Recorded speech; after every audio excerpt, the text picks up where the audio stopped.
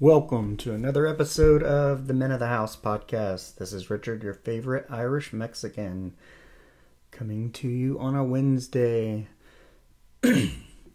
so, ideally, you know, I talked on the last episode about consistency. Therefore,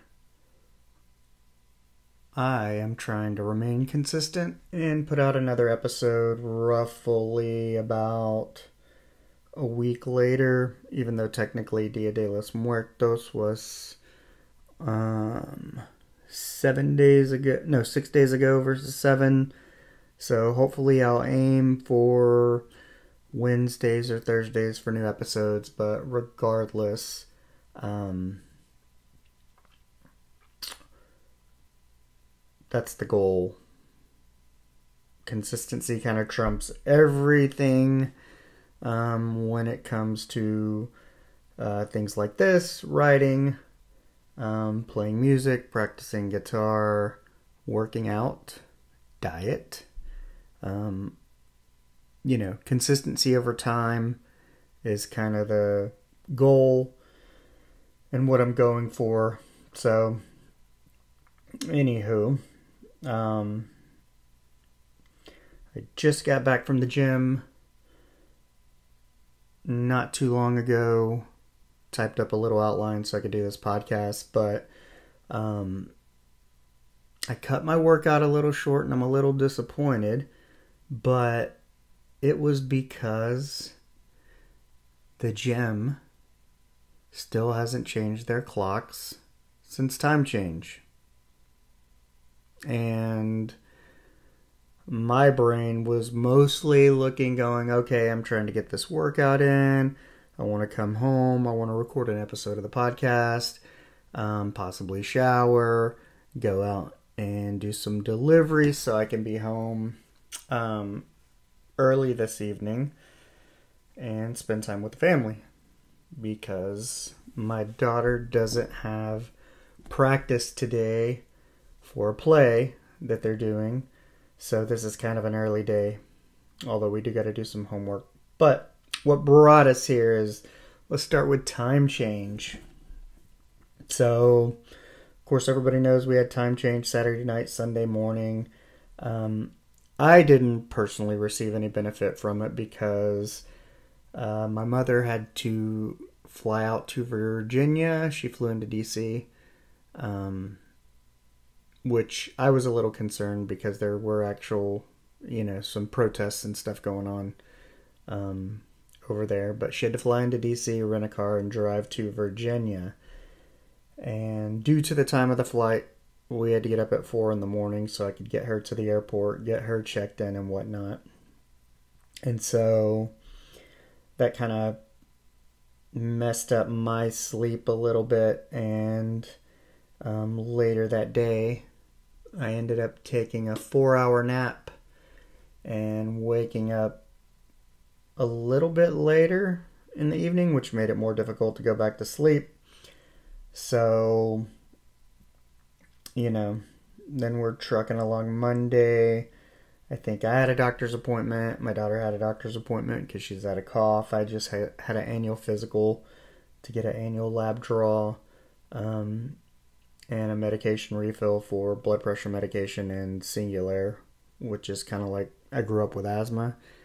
Um, so I have to keep those because the pulmonologist says that it's essentially like birth control for asthmatics. Um, I would always kind of stop taking it because it's not something that you can tell if it's working, you feel it or you don't. But once the physician kind of explained that, hey, it's like birth control, you're not going to feel it unless you're not taking it and you end up with pneumonia. But, you know, that's kind of one of the things as it relates to that is since being laid off in December of 2020, um, I really haven't been sick. You know, I spent 12 years in healthcare working in emergency rooms, uh, level one trauma. You get a lot of sick people and then managing two primary care clinics with urgent cares and visiting specialties. But um, essentially, you're around sick people all the time. And it could have been stress, it could have been exposure. Um, not 100% sure, but whatever it was, um, I was sick quite a bit. And over the past three years since being out of healthcare, I really haven't been sick. I mean, I've had, you know, kind of these common cold type things, sniffles, allergies, I don't know, whatever you call it. But um nothing more than a couple days or nothing that some Mucinex, Benadryl or, you know, something like that won't fix. Swig a NyQuil here and there. But um yeah, I really haven't been sick and I've been grateful for that. Um because I think about, you know, I don't have health insurance. I'm a self pay person. Um, but, you know, $200 a year versus what I used to pay, probably over $200 every two weeks just for health, health insurance for the family. Then you got to meet your deductibles. So all your copays in full are going towards deductibles. You're meeting those, um, plus x rays, lab works, everything else. But I'm pretty sure I've saved quite a bit of money the past three years. And in that three years, um, you know, I did work in healthcare at the beginning of the pandemic. Um, did that for nine months into the pandemic. Um, had two grandparents, both pass away from COVID, but um, luckily for me, I never got it until July of 2022. That was the first time I got it. Um, I did feel like shit. Um, mostly in my body. Lungs were a little meh, but um, I think I fared well by comparison um, because I was actually super afraid of getting COVID because having grown up with asthma and um, always having kind of like lung problems. I mean, the last big time I got sick was probably 2019 or 2020, and I had double pneumonia, both lungs. I mean, it's pretty much a shit show. So, you know, there is that concern that when you get COVID, because it's primarily a respiratory disease, that somebody with an underlying factor like that um, would not fare so well. So I was concerned, but um, I fared well, got over that, and kind of since then, you know, I've really been focusing on um, trying to be as healthy as possible. I kind of waver in and out, um, pretty consistent. I can go like periods of being consistent, and then uh, kind of what happens to me is um, my routine gets thrown off, whether it's by a sick child, this, that, the other and then all of a sudden you're kind of on a little break. Um, which is kind of today getting back to the gym. Um, kind of part of getting back into that consistency. I did some strength training, I did some cardio, even though I did cardio the past two days. Kind of getting back into strength training, get the muscles movement moving, get sore a little bit, um, and kind of get back because strength training um, it's healthy and it makes me feel good mentally. So that's kind of the point of that. And today is um, getting back on track because, like I said, I had that four hour nap on Sunday that screwed me up. And then um, Monday, I took more naps or went to bed early. It was like I just couldn't stay awake. And um, I woke up at 1:30 a.m. Tuesday morning, Monday night, essentially, and um, with that, I was up all day yesterday from 1:30 a.m.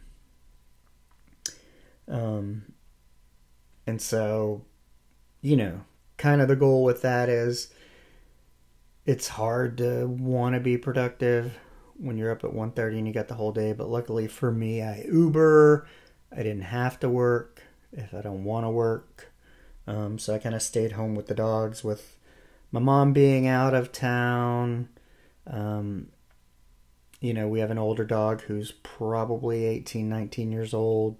He's on his last limb. Um, he requires a lot of attention, so I stayed home with him.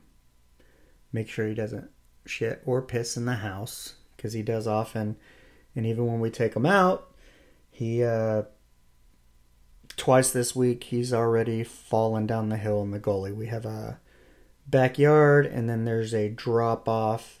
Um, and although it's separated by rocks, he has somehow managed to figure out a way to fall down the hill six in the morning in the dark. Then I have to go get him. It's wet. It's cold, or it was Monday or Sunday, whenever it happened. And then you get thorns and all kinds of shit. Wet shoes.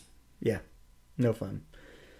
But, you know, kind of getting back those past few weeks, as you can remember from the last episode and everything that's gone on, it's you know, would describe my life of when you're out of routine, it's a little bit like um, a water cap that won't screw on the bottle, that won't thread on correctly. It's crooked a little bit.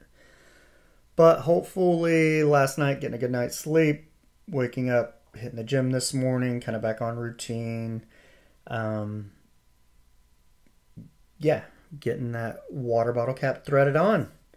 But of course, yesterday during that period of wanting to stay awake, um, I entered the TikTok time suck. Um, it's kind of one of those things you go on like, hey, I just want to kind of see, and then all of a sudden, you spend a couple hours um, on TikTok watching who knows what. For me, personally, um, I kind of I can get sucked into uh, watching people cook. Um, anyone who knows me knows that I cooked for many years. For any of you who don't know me, I started in kitchens at a young age. I've worked everything from casual stuff to I helped open up a bagel coffee shop, something similar to an Einstein, but it was a private place. Um, back in '97, that's kind of how I started. Um, then I ended up at Pizza Hut, McAlister's at the same time, then transferred to Chili's, and that took me to South Florida. And then, you know, cooking there, somebody I knew was like, hey, um, they got a job at this nice steak and seafood house, and they brought me because they knew I could cook. So I went there and I did that for several years. Then transferred over to a fusion place, Bistro Zenith in Boca Raton, Florida. Um, then I kind of left cooking and didn't go back until 2006 and I was a personal trainer at Gold's Gym. Like training people, hated Gold's Gym. It's so sales focused even though you have a sales team. So um, I left there and just kind of went back to my cooking, cooked at the Springs uh, Seafood and Steakhouse on the river in New Braunfels and then uh, got a job at um, Lakewood Country Club outside of Austin. And that's how my wife and I got to Austin and uh, worked there. Met a friend, Layla, if you're listening. Um, we met, I think we had our interviews the same day, 2006. We started on uh, Halloween, roughly because I remember the wor- worms and dirt kind of dessert thing. Um, 2006, but we've known each other since then. So we used to carpool, ride to work together. But um, yeah, I can totally get sucked into watching people cook, prepare food. Um, which I kind of don't mind too much, but um, yeah. It is a time suck. But kind of one of the funniest things was I scrolled past this one video and they were actually refugees in a Syrian refugee camp. Speaking a little bit of English, tap, tap, tap, tap. Go on, guys, tap, tap, tap, tap. But it just blows my mind you know, I'm not even a huge TikTok fan. I don't even know how the hell it works with badges, gifts, likes, what you're supposed to do with them, what you're competing for. But, you know, when I look at it, initially I'm like, fuck.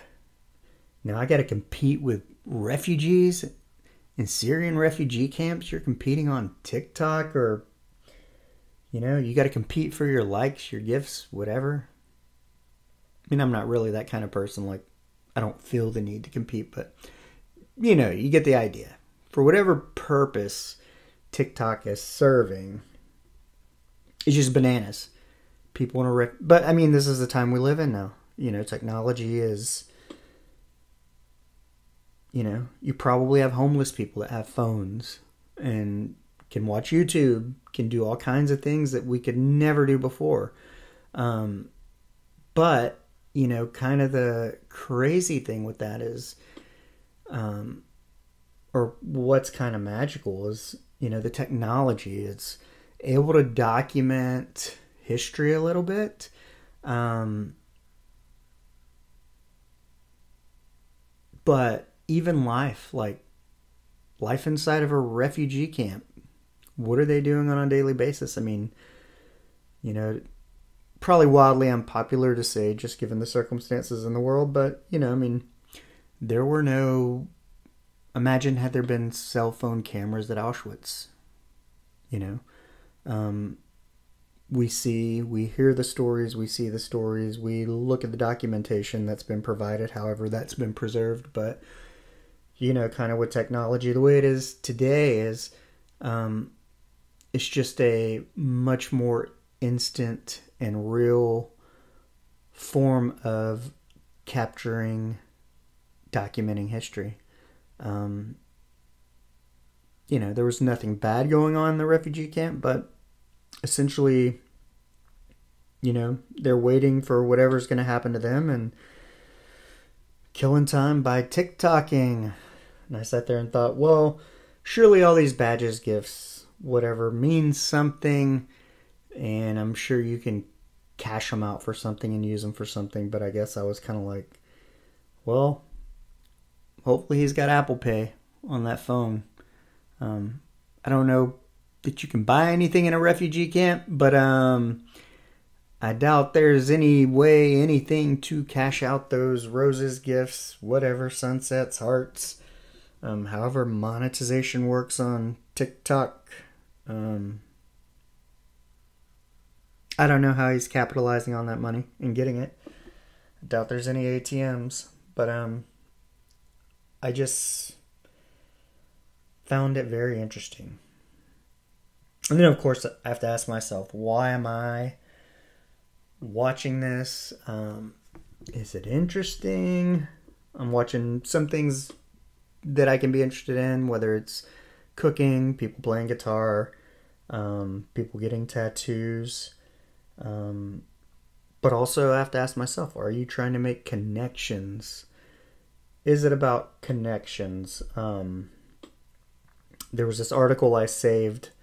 It came out on September 18th, but it was on CNN.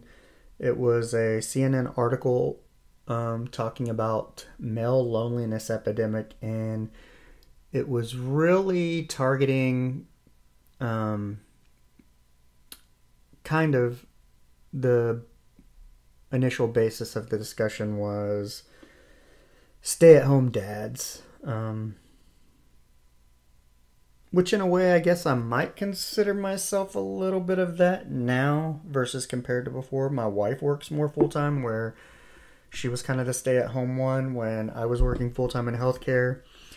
And then there was a little bit of time where we both worked, and then um, I got laid off, and she's been doing more of the working and I've been doing more stay at home Uber, the more flexible kind of stuff. But, you know, needless to say, um, very interesting, good article. Um, I felt like I connected with it, and that's the reason I'm bringing it up, is because I think there's a way, you know, one, it fits into the theme of the podcast, The Men of the House um, we're all these individual men.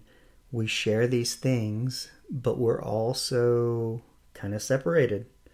Um, we lack meaningful connections. We we get isolated, and as everybody knows, like from the pandemic, it's very unhealthy, especially for your mental health. But you know, essentially, they're saying it's because um, men sometimes we lack meaningful connections.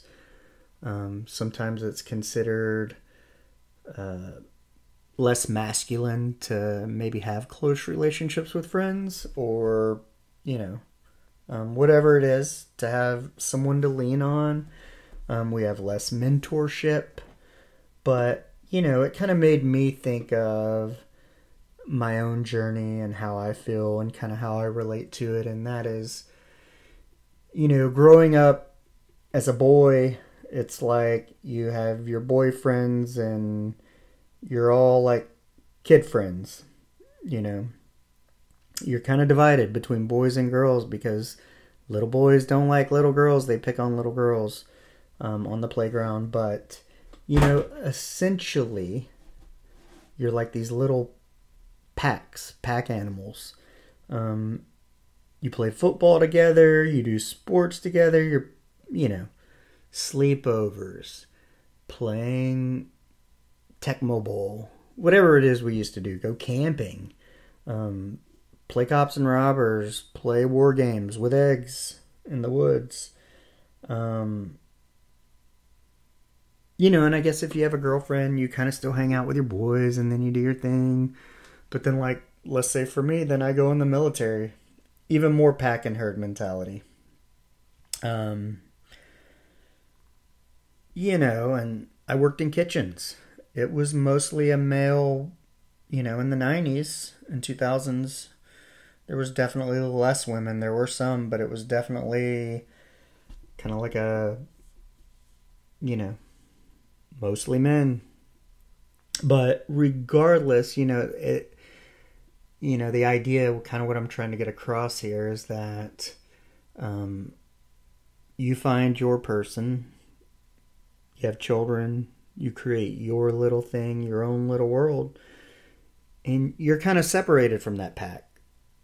And, um, but, you know, just like you leave your family to start your family, you leave kind of your group of friends to start your own little family and um, unit, and your wife is now your best friend versus maybe your male or woman best friend growing up. Um, and you know, it's kind of like being cast out in a way, but not really because you're gaining something. You're gaining that which you wanted or that which is natural, which is to create your own pack, create your own family, start your own new thing, your new traditions. But, um, you know, and you can see it too. I listen to it when I listen to, you know, podcasts about military people um, who get out and, you know, it's that isolation. They're not away, they're not with their friends, they're not with their people anymore. So, um, I get it. I relate. Um, but it's kind of like, you know, my whole day, like, Have some friends I text. Um, you know, one of my friends, we've been friends since we were six years old. We're both 47, so 41 years. You know, I'll text him, but it's he lives two hours away, so you know it's just different. Um, but you know, maybe if I did a jujitsu class or found something that I could connect with other men with, um, and fellowship with, I suppose you could do so at church. You could have a group, but the article mentioned there's a national at dad at home dads network, and then another place called City Dads, where people can go and find connections. Um, but essentially, that's kind of what I was saying. You know, I mean, the most interaction I had was we went to a, one of my daughter's friends' birthday parties on Saturday, and um, you know, I spent time talking to that dad, another dad, um, but we were there with our wives, Um, but that's kind of the extent of it. And so, you know, it's this very thing where you go from where as a young boy you spend all your time with your male friends and other males but then you get older and you step away and you do your own thing and you're naturally a little more isolated and um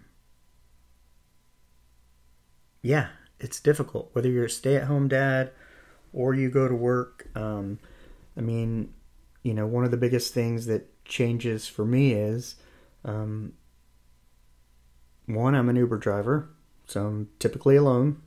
I don't have much interaction. But um, I don't go to another place like I used to for work, so I don't have that fellowship with other people, um, whether it's men or not. So that definitely contributes to the feeling of isolation. And then, of course, I drive around all day, mostly by myself, but I enjoy it. Um, but I do enjoy, you know, getting out when I go in to get someone's food and if I can have a positive interaction with the person at the front desk or a host, a hostess, whatever, um, that's enjoyable to me. So that's about the extent of my fellowship. Maybe chatting, leaving a comment on an Instagram or a TikTok, or seeing somebody's live if they're interesting, um, talking about something that's worthwhile and chiming into the conversation. And, you know, I think when somebody who's similarly in my demographic, whether it be age, um, whatever, if I make a comment and they respond and we're kind of on the same page and wavelength, um, you know, that's a little bit of a connection. Um, but that's about the extent that some of us get, maybe many of us. Um, and especially like, you know, my last job, I was a manager, um, a leader, if you will. And then as a man, you're supposed to be a leader of your family. Um, being a leader, being at the top can be isolating and lonely too. Um, you have to make all the hard decisions. You have to say no. Um, sometimes to the people you care about the most, and maybe it's because you do care about them. But uh, you know, either way, that's kind of gonna conclude what I have to say for the day. Um, I'm about to get out of here, go clean up go make some deliveries, go make some money since I got my car back. Um, and I want to spend the evening with my family because I love them and um, help my daughter do her homework because these are the times that matter. You know, being there, being present is sometimes more important than what you can give them um, monetarily or you know, possession wise. Um, being there, being present. You know, that's all we can do. And um, leave all the dads with that. Get out there, make connections. You can always connect with me at jahippie512 on Instagram or at the Men of the House on Instagram, Men of the House Podcast, or the Men of the House Podcast on TikTok or rpaul.craft at gmail.com. You can hit me up, say whatever you want to say, make a connection. Maybe each other is all we have. Um, that's what life is about, though connections, love, respect, um, helping one another, being there for one another. Sometimes, even if it's only as an ear. But, you know, we give what we can, give what you have. I'm going to leave everybody with that. You guys have a great day and peace out.